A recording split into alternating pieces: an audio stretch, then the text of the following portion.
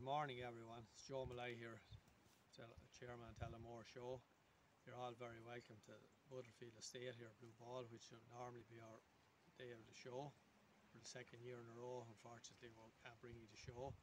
So um, I would um, like to thank Chelsea there, our team, for putting together a group of videos, clips for the.